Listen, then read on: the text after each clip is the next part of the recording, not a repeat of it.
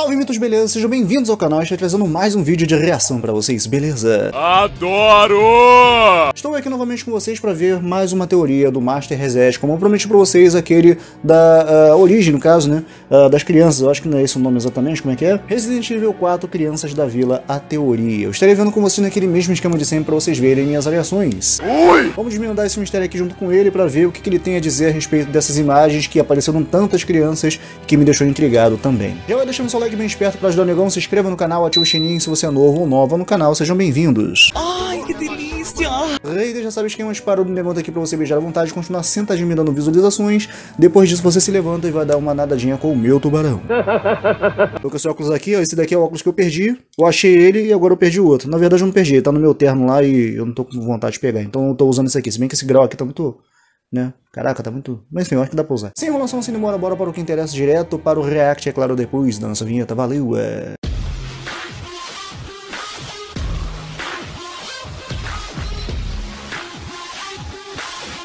Alexandre Nária.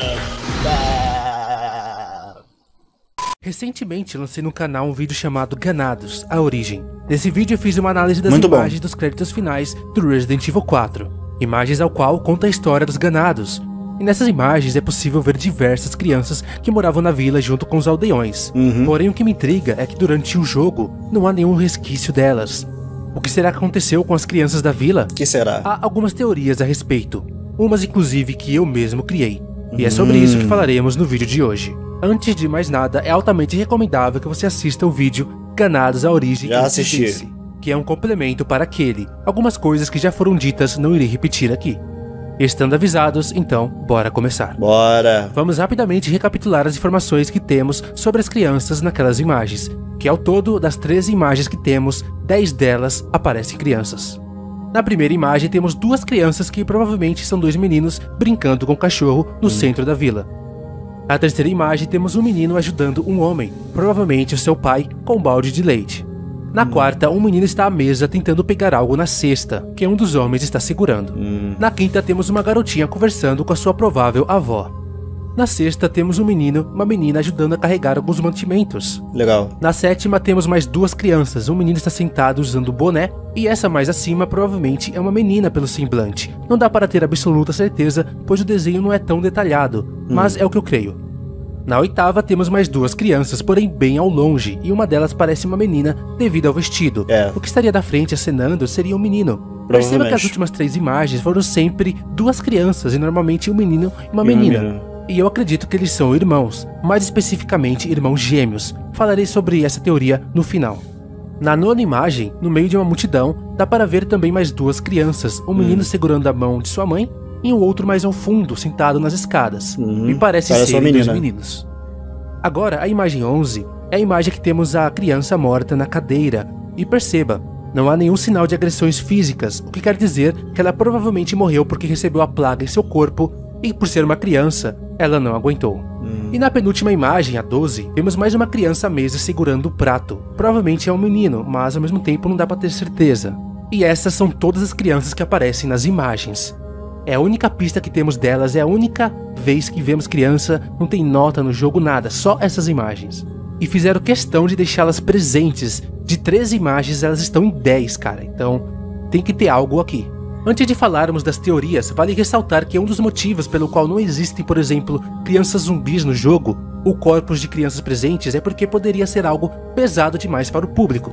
E talvez até mesmo por motivos legais. Socializar! arriscar, Deixando elas apenas um para essas imagens.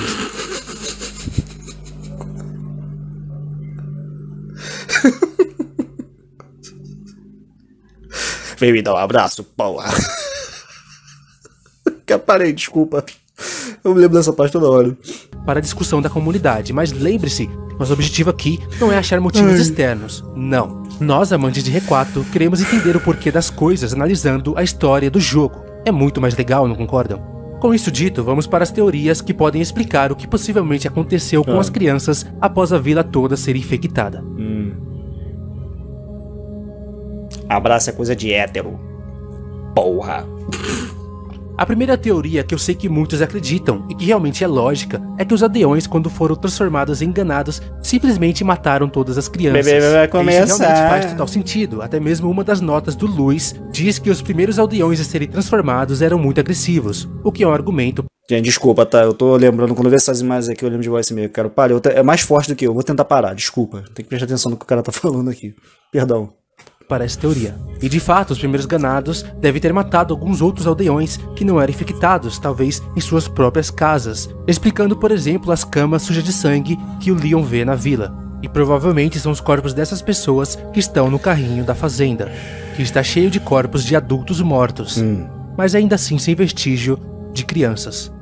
Porém, o motivo pelo qual eu não acredito que os ganados mataram as crianças parei, parei. é porque essa imagem contradiz essa teoria. Ela nos mostra uma criança morta. O desenhista fez questão de desenhá-la encostada em uma cadeira hum. para representar o momento de descanso da pequena garota, que já está falecida, sem sinais de agressão. O que me leva a crer que as crianças, assim como os moradores, foram infectadas com las plagas e seus corpos não suportaram o parasita, causando a sua morte. Uhum. Um argumento contra essa teoria é que, como só temos uma criança na imagem para ilustrar, isso não garante que todas morreram dessa maneira.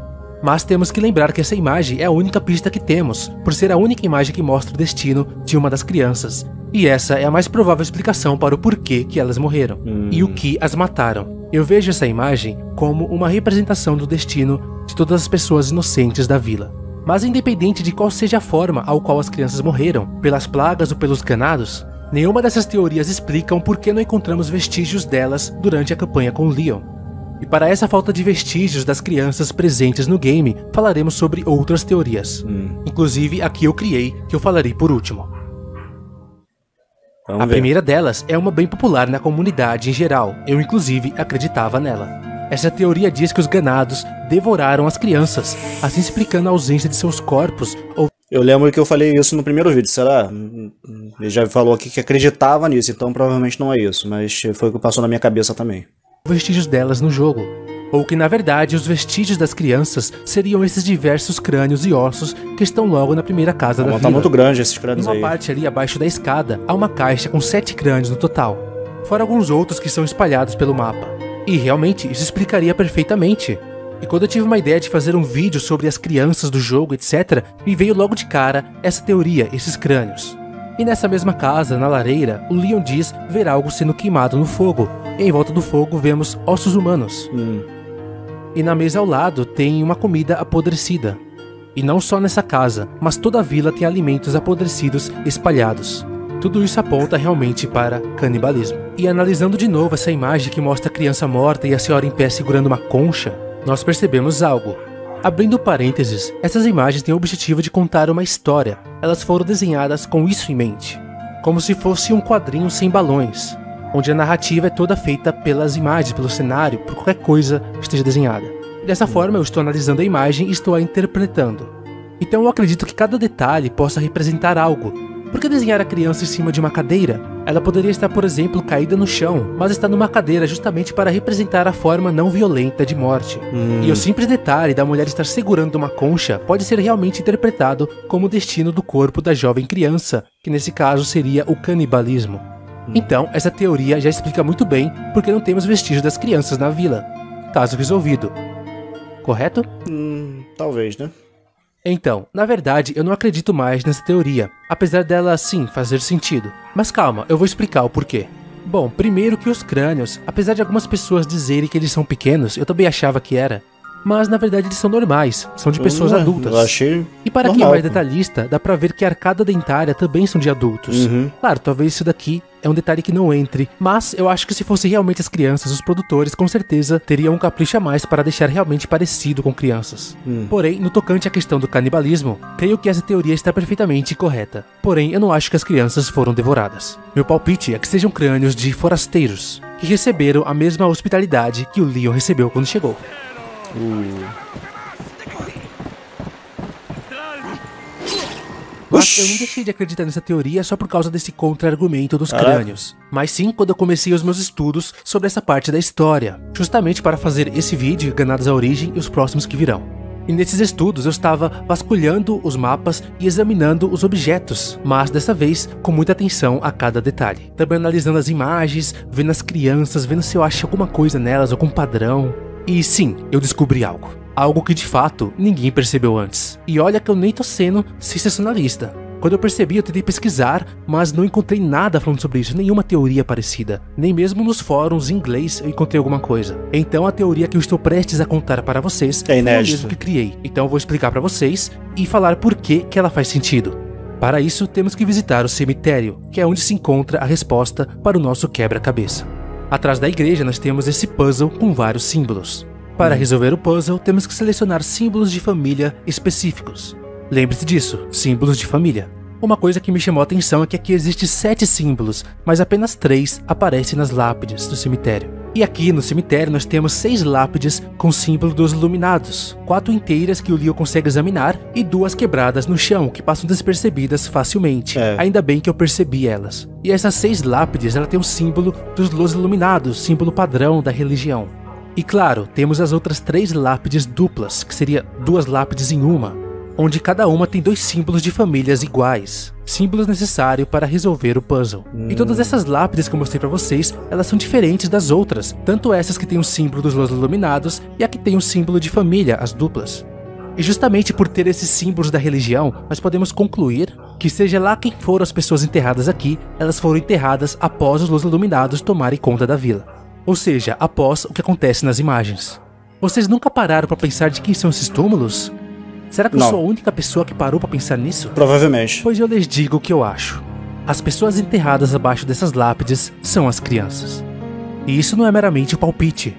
A maior pista que temos é que quando examinamos as lápides duplas, qualquer uma das três, o Leon diz: gêmeos podem estar enterrados aqui. A Ada também diz a mesma coisa. E só para ter certeza, eu baixei o Biohazard 4 de PS2, que é a versão japonesa do Rei 4, para verificar se a frase falava a mesma coisa. E basicamente sim. Aí você pensa, por que o Leon disse isso tão aleatoriamente? De gêmeos? Talvez isso estava escrito nas lápides ou o Leon apenas deduziu? Independentemente, isso não está escrito aqui à toa. Eu me surpreendi como quase não existem teorias de pessoas sobre essa frase totalmente aleatória do Leon ou do simples fato de existir três lápides duplas. E claro, também temos os símbolos. Essas lápides duplas de gêmeos, cada uma tem dois símbolos da mesma família. Isso quer dizer que as duas pessoas enterradas aqui são da mesma família, o que apenas complementa o que o Leon já falou, que gêmeos podem estar enterrados aqui. Essa questão dos gêmeos me chamou muita atenção, porque nas imagens nós vemos diversas vezes as crianças em duplas, que pode ser justamente a informação que o desenhista quis passar. O que eu acredito que aconteceu depois de todas essas análises é que realmente todas as crianças morreram devido ao recebimento do Las Plagas em seus corpos.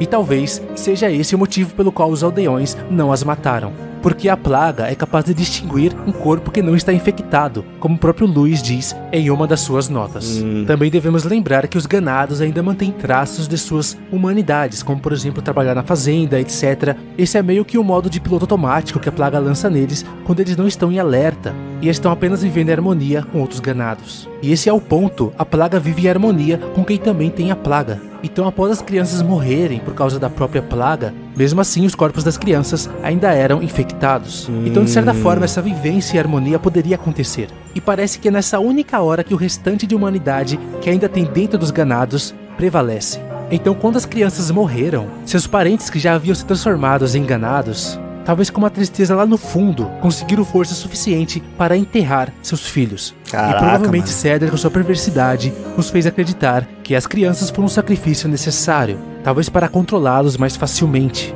o que pode explicar as lápides personalizadas. Agora, os símbolos de família ainda são um mistério para mim. Bom, claro, essa historinha que eu acabei de criar é apenas o palpite da minha teoria, porque isso explicaria por que as crianças estão enterradas e por que as lápides são especiais. Então, nesse caso, seis crianças foram enterradas com o símbolo dos Los Iluminados, lápides únicas. E outras seis, que são no caso três pares de gêmeos, foram enterradas juntas. E é até poético, né? Enterrar gêmeos juntos, afinal eles nasceram juntos. E agora voltarão ao pó juntos também. Caraca, Bom, profundo, agora eu hein? dei uma boa explicação da teoria. Rapaz. Mas agora vamos finalizar esse quebra-cabeça. Segundo a minha teoria, 12 crianças estão enterradas no cemitério. Será que nós conseguimos ver essas crianças todas nos créditos finais? Pasmem, galera. A conta bate certinho. eu vou explicar para vocês a análise que eu fiz sobre aquelas imagens. Para quem está até agora se perguntando por que eu pintei algumas crianças e algumas pessoas nas imagens, é por causa dessa análise. Eu fiz isso para ajudar a visualização e identificação das crianças. Bem prático. Vamos começar achando os três pares de gêmeos. O primeiro par é esse da imagem 6. É um menino e uma menina. Eles estão juntos ajudando os adultos a carregar algum mantimento. Como se fossem os filhos ajudando a carregar as compras de casa, sabe? E esse foi o que eu julguei ser o primeiro casal de gêmeos. Parecem estar ajudando seus familiares. Eu acho que é o único cenário possível para um menino e uma menina se juntarem para carregar alguma coisa para adultos.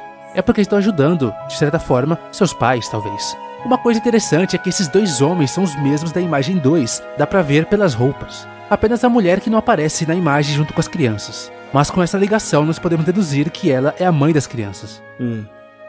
O segundo par é o da imagem 7. Duas crianças novamente parecendo um casal de irmãos, um menino e uma menina. Eles estão sentados vendo um homem tocar violão na escada. E repare que tem uma mulher olhando ali pela cobertura. Provavelmente é a família completa, os filhos e os pais. Ou seja, essa imagem repete dois padrões. São um menino, uma menina e remete à família. Consegue entender? O terceiro par de gêmeos está na imagem 8, lá no fundo, é um pouco difícil de ver, mas é notável. Enquanto o homem está a caminho da casa, provavelmente voltando do seu trabalho, etc., dá para ver que três pessoas o estão esperando. E é provável que é sua família, sua mulher e seus dois filhos. E mesmo que a mulher e as crianças estejam longe, dá para perceber claramente que uma das crianças usa vestido. Ou seja, é uma menina. É uma menina. E o menino está mais à frente, acenando com a mão. Ou seja, o desenhista queria que percebêssemos que era um casal de irmãos. Então, mais uma vez, repetiu os dois padrões, um casal de irmão, e remete à família. Coincidência? Eu acho que não. E assim eu descobri os três casais de irmãos gêmeos que estão enterrados abaixo das lápides gêmeas. E você lembra que os símbolos do puzzle são chamados símbolos de família? Então essa questão dessas três imagens estar ligadas à família pode ainda confirmar que essas crianças são as crianças gêmeas, por causa dos símbolos de família que tem nas lápides gêmeas. Faz sentido, não faz? Faz muito sentido, cara. E claro, além dessas seis crianças, nós temos a outras seis que foram enterradas em lápides normais, lápides únicas. Então bora encontrá-las também. Duas delas estão na primeira imagem, brincando no centro da vila. Vendo essa imagem, você pode até imaginar, mas esse não poderia ser mais um par de gêmeos. Eu vou explicar pra vocês por que não é.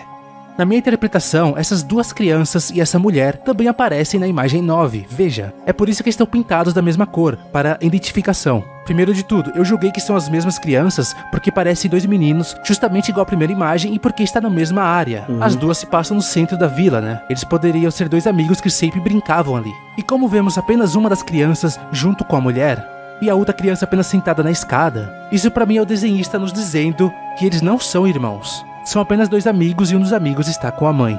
Mano, sério, talvez eu esteja viajando demais, mas eu analisando essas imagens profundamente, me parece justamente que o desenhista está conversando com a gente, nos mostrando várias pistas. Agora a próxima criança, que é a terceira, é a que está na fazenda ajudando um adulto com um balde de leite. E sem segredos, essa aqui tá sozinha e realmente entra pra conta também. A quarta é essa criança que está à mesa. Essa que mesa. parece bem pequenininha. A quinta é a garotinha que está com sua avó, que eu não sei se vocês perceberam, mas infelizmente ela é a mesma da imagem 11. E agora a última criança que falta para completar as 12. Originalmente eu acreditava que essa imagem mostrava as mesmas pessoas da imagem 4, inclusive eu disse isso no vídeo passado do Ganados à Origem. E para ser sincero, ainda tenho minhas dúvidas. Mas analisando bem, não pode ser as mesmas pessoas. Não, não pode ser, mano. Na Não, primeira imagem não nós é, temos um homem adulto, meia idade, temos um senhor e uma senhora. E a criança pequena, né? E todos estão à mesa também. Sem contar que algo que me chamou a atenção é que esse cara é o único cara que dá risada. Ele e o ganado, ou seja, ele parece ser o mesmo ganado que está se transformando. E nessa imagem também temos um velho e uma mulher. Mas a mulher parece mais nova. E aquele Mas velho o lá que é também. decisivo aqui pra mim é porque a criança tá muito maior. Uhum. Compara, galera, olha a criança. Ela vai de um bebê com os bracinhos curtos para uma criança grande, já segurando o prato, já à mesa, em pé. E eu não Uhum. acredito que aquela imagem seria de anos antes dos ganados aparecerem. Sem contar que a mulher, nesse caso, deveria parecer mais velha. Mas eu admito, essa aqui é a única dúvida que fica na análise das imagens pra mim. Hum. Mas mesmo assim, eu ainda concluir que é outra criança. Talvez o desenhista tentou confundir a nossa mente de propósito, desenhando uma outra família no mesmo padrão, só que deixando eles claramente diferentes. Hum. E essa, galera, é minha análise das imagens. Com essa análise que eu fiz, a conta dá certinho e ainda percebemos os padrões nos desenhos. Então essas são as 12 crianças que estariam enterradas nos túmulos do cemitério. Afinal, se não forem elas, quem seria? Os ganados não parecem propensos a enterrar seus conterrâneos, muito menos forasteiros em lápides personalizadas. Ixi. E eu acho que um dos motivos para a Capcom deixar esse puzzle lá no cemitério foi justamente para as pessoas criarem essa teoria. Pois o puzzle é totalmente opcional, ele só te dá uma joia, que é totalmente opcional no jogo. Talvez a Capcom só deixou esse puzzle lá justamente para nos induzir a examinar as lápides. Tudo bem, vendo o design do puzzle dá pra ver que era para a chave da igreja estar ali originalmente, pelo menos eu acredito assim. Talvez a Capcom mudou esse puzzle no meio do caminho para nos dar um motivo para ir até aquela cachoeira lá na PQP. Então, no caso, a Capcom não precisava deixar esse puzzle aí, mas eles decidiram deixar mesmo assim com um item que é totalmente opcional. Lembre-se que o Separate Ways não existia no primeiro R4. Para mim, o real objetivo da Capcom com esse puzzle era levantar discussões e teorias sobre as lápides nas comunidades, simplesmente deixando como pista a palavra família e gêmeos. Porém, ao que parece, ninguém percebeu, até agora. Parece que eu sou a primeira pessoa a levantar essa discussão na internet. Cara, realmente só pode ser elas, as crianças estão enterradas nesse cemitério. Essas pobres crianças que aparecem para nós nos desenhos, pelo menos tiveram um enterro digno. Se você gostou do Que vídeo, bom. deixe seu like e compartilhe para assim demonstrar o seu Muito apoio bom. para eu continuar fazendo novos vídeos e episódios com essa qualidade. Esse vídeo até passou em muito tempo que eu tinha para ele, eu falei bastante coisa, então diga o que você acha nos comentários. Se você acha que eu estou errado em algum ponto, se percebeu uma coisa que eu não percebi, alguma outra teoria, algum complemento, coloque aqui nos comentários que eu vou adorar ler a sua opinião. E por favor, me diga o que você achou da minha teoria. Apesar de ter muitos pontos fortes, como eu expliquei pra vocês, não deixa de ser uma teoria, que é muito legal para levantar a discussão na comunidade. Hum. Então é isso, Master falando aqui. Muito obrigado a todos que assistiram, beleza? Falou e é nóis. Essa é a galera Master Reset pra vocês falando a respeito da teoria das crianças. Eu gostei demais dessa teoria. Ele perguntou se eu tenho algo pra falar. No caso, quando eu digo eu, ele falou das pessoas que assistiram. E como sou uma das pessoas que assistiram, a única coisa que eu tenho pra dizer é. Concordo contigo, porque eu não analisei nada aqui, eu só ouvi o que você falou. Então assim, mas eu achei bem interessante essa teoria dele. Se bem que eu cheguei a pensar isso logo ah, no primeiro vídeo, que eu cheguei a ver com vocês aí dos ganados, né? Eu cheguei a cogitar essa questão aí dos ganados terem eh, devorado as crianças. Mas não parei pra pensar nessa questão aqui, né? De as crianças terem sido infectadas e tal. Eu acho que faz mais sentido sim, de certa forma, porque os ganados realmente não atacam uns aos outros, senão aquilo dali seria o canibalismo puro, eles matando uns aos outros ali, mesmo sendo ou não ganado. Então achei bem interessante essa teoria dele. Embora eu estou pensando numa questão aqui, o Leon chega em um certo momento que ele fica também infectado com as plagas. Tudo bem que no caso dele não se desenvolveu, ele fica praticamente o jogo todo com aquilo dentro dele, só quando ele vai é, enfrentar o último chefão, né? O, Sandler, Sandler é, que ele chega lá naquela máquina, ele junto com a Ashley, ele consegue tirar a- as plagas dele. Mas de qualquer forma, chega um momento ali do jogo que eu me lembro que ele chegou a atacar até a Ada, né?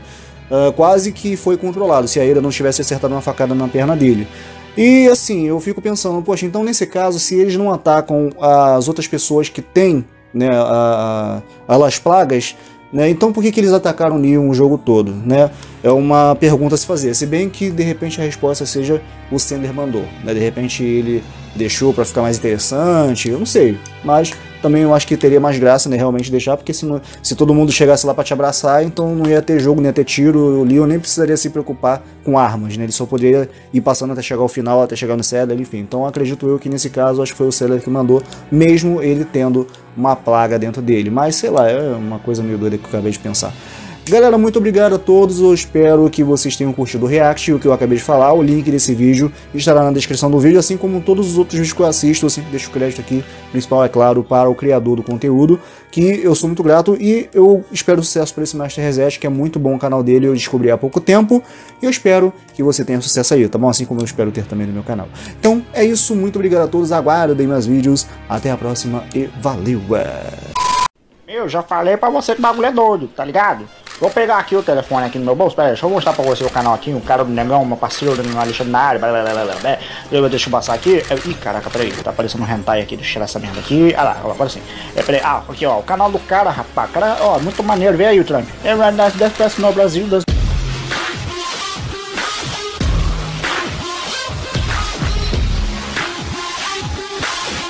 Alexandre na área. É,